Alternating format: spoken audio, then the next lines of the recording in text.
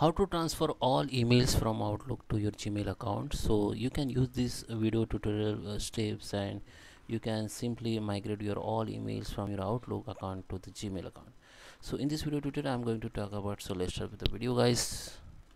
Okay before we start i request you if you like this video hit the like button subscribe my channel and don't forget comments below. Okay so first open your outlook. Okay and we uh, need the outlook app in your computer. Okay if you're using window then you we need the outlook app in computer.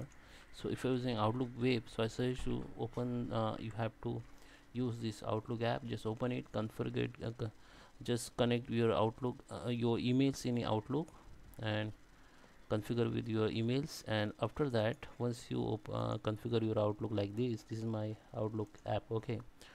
So now just come to the window and type migrate. Okay this uh, app will be open which is google workspace migrate for microsoft outlook. Just click on it.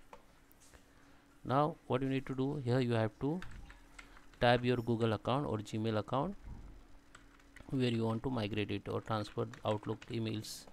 So this is my account. I just continue.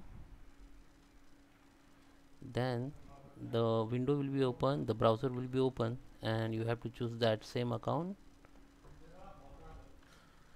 okay so your by default browser will be open and we uh, you need to uh, already uh, you need to keep logging uh, in your, with your account. So it will be open like this. Now just continue and just allow it.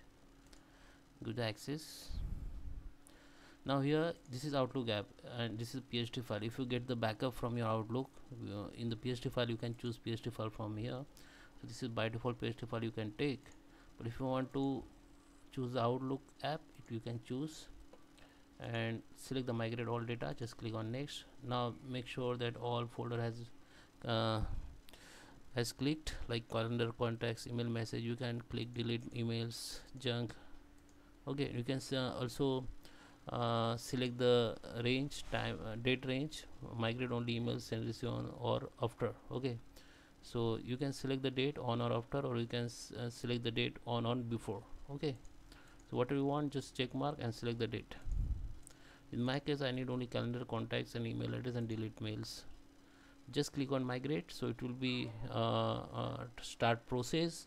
And meantime you can work on outlook and any other app but it, it will take some time if you click on migrate.